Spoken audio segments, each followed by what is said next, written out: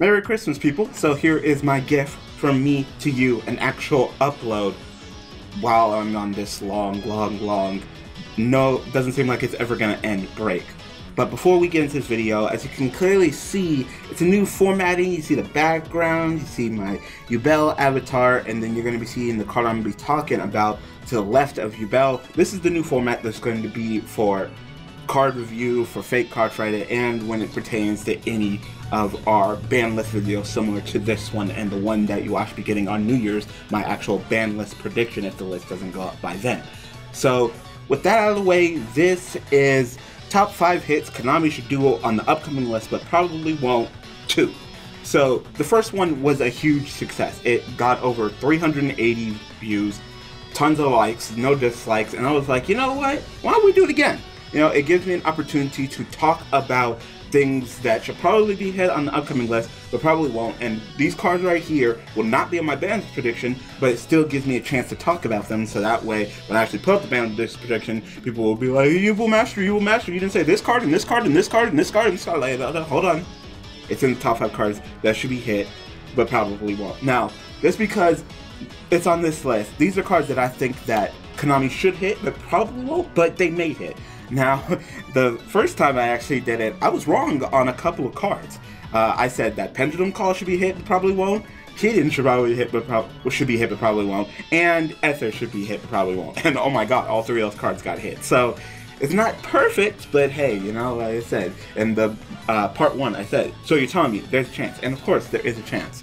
So here are five things that uh, Konami should probably hit, but probably won't. But if they do, then yay, thumbs up. But if not, then heh, no surprise. So uh, go ahead, and sit back, relax, listen to my soothing voice while you sip your Christmas cocoa, and we'll go ahead and jump right into it. So starting off with number five, anti-spell fragrance. All right, there are a ton of people who are predicting that anti-spell fragrance should be hit. And should is it, is a card that should be hit? Yeah, at this point, probably. Uh, it should probably be considered a just floodgate put it at one, similar to all the other major floodgates. But the reason why I'm going to put it on this list and not my actual ban list prediction, despite all the trouble it's caused, despite the fact that, you know, if you pretty much flip it against a pendulum player and they're like, oh, well, I can't play you, yo, GG, or, you know, decks that are very spell heavy, where you slow them down for a turn with how quick this game is, they only got a turn to do something. If you're not being able to play your spells during your turn and, you know, you got to take it slow because of that, you might just die next turn. No, the reason why I'm saying that Konami will not hit anti-spell fragrance and may never hit anti-spell fragrance is because it's not in the same boat as those floodgates, you know, similar to Macrocosmos and Skill Drain and Vanity's Emptiness, and the fact that it doesn't hurt everyone. And Konami's really inclusive when it comes to Floodgate. If it affects everyone equally, alright. But I guess in their eyes it's fair, and I guess it is a way to combat Pendulum where mecha- pendulum mechanic is stupidly broke. I mean, let's let's not kid ourselves. It's stupidly broken. This is a way to combat that. Yes. Would it be better if Konami would just hit this card and create a card that actually hurt the pendulum mechanic in itself? Yes, because I mean, even if you're not doing the pendulum mechanic, slowing down spells for a turn, uh, it can be uh, very, very devastating. But uh, I mean, that really has to do with it is the fact that it's not an all-encompassing floodgate that hurts everybody. When you look at the floodgates that Konami hits, they hurt everyone. They affect everyone equally. Anti-spell? Nah. If you're not playing a, a you know, a deck or deck that's a lot of spells, I mean, i.e. looking at like Paleozoics and stuff, this card does nothing. So, uh, and it, it, it's, that's the, that's the fact that Konami probably won't ever hit this card down to one. So, I mean, it's just really a waste to even predict it. Now, if Konami does hit it down to one, then yeah, sure, awesome. That's yet another floodgate that can probably get hit. But then we gotta worry about the pendulums, but, uh, you know, there's give and takes with every card. This card is unhealthy for the kind of game that Konami wants, you know? And a game where they're trying to promote pendulums, is it a good card? No, it's very unhealthy. It breaks them without wording that it kind of breaks them. It's weird, but uh, no, it's just not a broad enough floodgate to warrant being hit down to one. So I'm gonna go ahead and put it on this list. So all the people who predicted anti-spell fragrance, don't be surprised it's not on the list. And uh, yeah, that is number five. So moving on. Next we have of Demise. So this is a card that is completely unfair. It's not. It's not. If you play a deck a particular way, then you get a super unnecessary plus Uh, just draw until you have three cards in your hand, and you pitch the rest of the cards. But you know, uh, it's like if I play a particular way with setting a lot of back row, I can get deeper into my deck, more back row. Uh, this card goes up and down and up and down when it comes to uh, popularity. And um, now it has completely faded out of existence. Now, should this card get hit? Yeah, probably. But of course, we have a much more powerful and annoying card on our hands It's way powerful than Card Demise. But that doesn't mean that Card Demise shouldn't be hit down to one. I mean, it is an unhealthy card. We've seen it pop up a couple of times. Uh, but two wrongs don't make a right. That just because this other card should be hit more than Card Demise doesn't mean that Card Demise shouldn't be hit. But I think at this point it's probably off Konami's radar. Like I said, this whole list right here is just I think that Konami should do it, but they probably won't. Whether it be because it's not on the radar, they're not planning on doing it. But like I said, there can be some surprises. I would be totally surprised and happy if I saw Card Demise limited to one because it does deserve it. It really does deserve it. Um, and I said in the right hands, it's a stupid plus. It's a stupid plus that's really unfair. But uh, I just don't see Konami hitting it right now, which really sucks because I do think that it should be hit, but it probably won't. So, yeah, as simple as that. So, have fun with more card demise decks, just setting a lot of background, being all sacky and happy. So, alright, moving on to the next card, we have, uh, know, number three, we have Pot of Cupidity. There you go, there's the other card. So, well, we have Card Demise who's kind of fading out of existence. Uh, the only reason why it's kind of fading, and the reason why those decks that used to be play a particular way uh, switched over is because of Cupidity doesn't have the restrictions that uh, Card Demise has. Card Demise has restrictions. Pot of Cupidity, alright, banish the top 10 uh, but, uh, cards of my deck face down, I get to draw two. And while some people argue the community argue, oh, it's good, oh, it's bad, oh, it's a neg, oh, it's a plus. Yeah, let's, let, let's clear this up right now.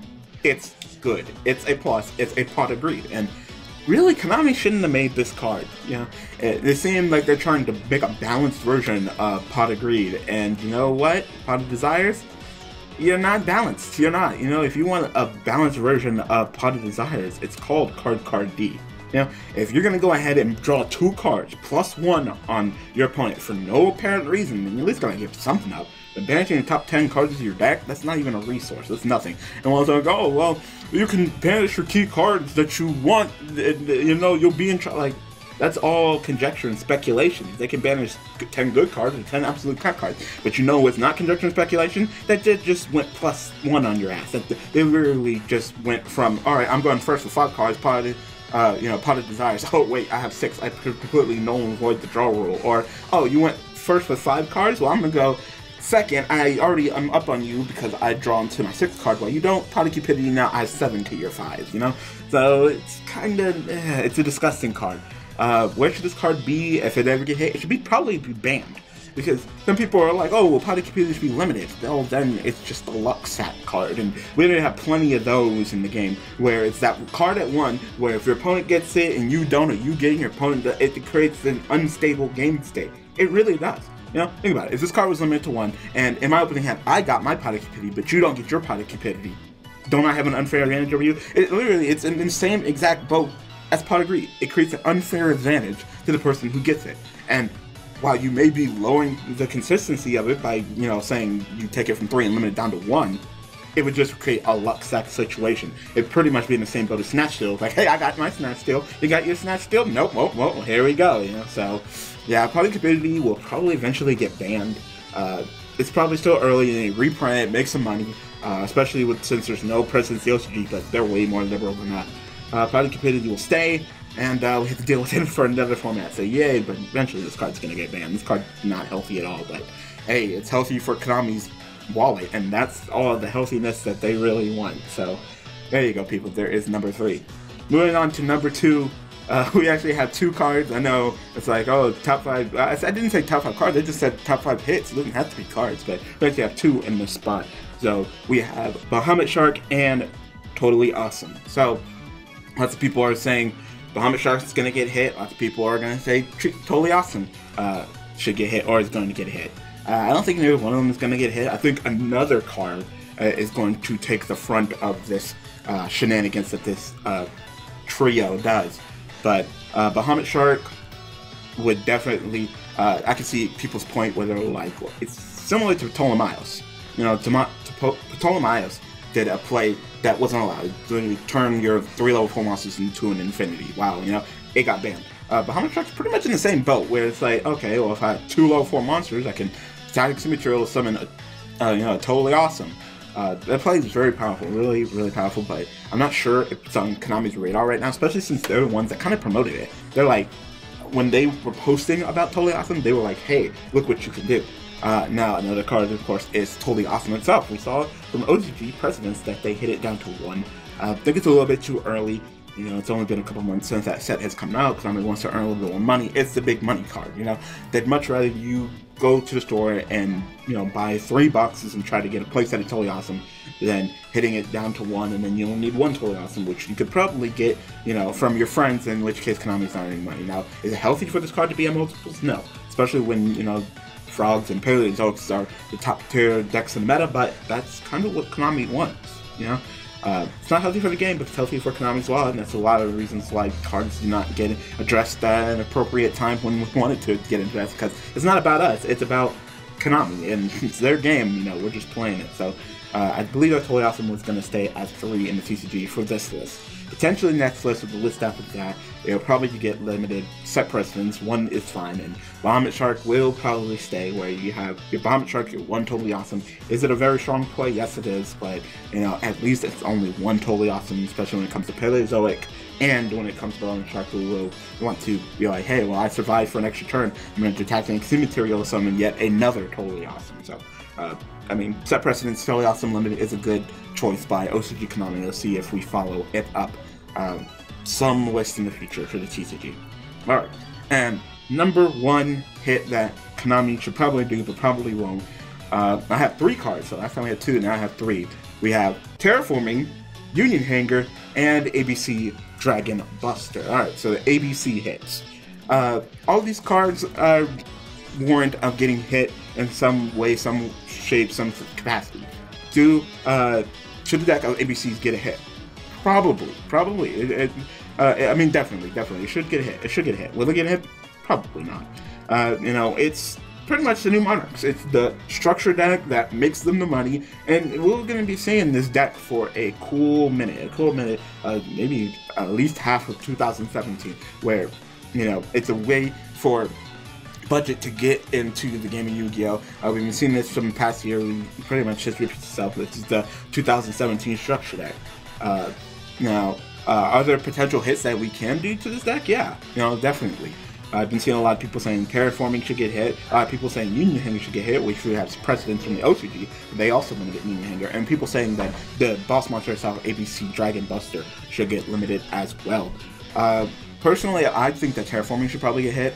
You know, uh, it's really the road of field spells, and it seems like as we progress, we get more and more and more powerful spell field spells where you're plussing off of the field spell itself. You know, uh, I mean, when we had chicken game, it was literally you know triple terraforming with triple chicken game, and you know all those cards would even you out, and you know you easily beat deck thing. But uh, it's getting to the point where you know so many different spell spells are. It's become the road of field spells, where it's like you know, only a handful of decks can search for a level 4 lower warrior monster, but there are a lot more field spells, uh, decks that love to search their field spell with Terraforming, which is a spell card that's hard to negate, it's a direct one for one, quick as possible. Unlike Planet Pathfinder, we have to at least use your normal summon tribute, and your opponent can respond to monster much, much easier to spell. Uh, Terraforming is getting to be that card, so I definitely think that Terraforming getting limited would be a good choice. And I said, if Konami decides to limit Terraforming, awesome, you know, that's great, because lately we've been seeing a lot of decks with a lot of powerful field spells. So terraforming getting hit uh, just for the broad sweep of just lowering the consistency down from you know at least six down to you know uh, a minimum four. Then you know that that's that's fine. That's fine. Uh, Union Hanger. Uh, we have precedent from the OCG. They hit Union Hanger. Uh, I think that's a little bit harsh. I really do because uh, it seems like OCG is kind of trying to push ABCs out, while we, on the other hand, uh, we're going to be holding on to them for a little while longer. Now, it depends on how we feel. You can either kill them off, or we can keep them around. Uh, but Union Hanger limited, especially if you limit terraforming, uh, would be, I mean, completely, completely uh, uh, harsh. But with only one Union Hanger, especially going second, especially with a limit to terraforming, where you only now you only have two field spells, one Union Hanger and one terraforming.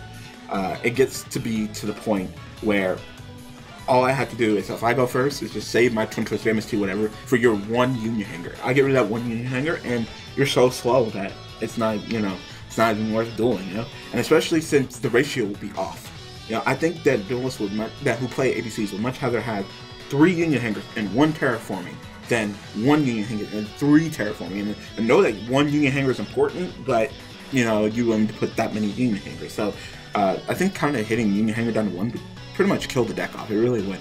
Uh, you know, the activating that plus is great and the equipping is great.